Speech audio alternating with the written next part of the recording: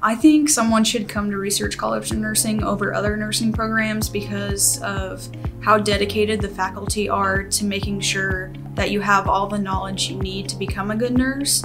And then you have endless opportunities to go whichever area you want to go, depending if you want to go into peds or geriatrics.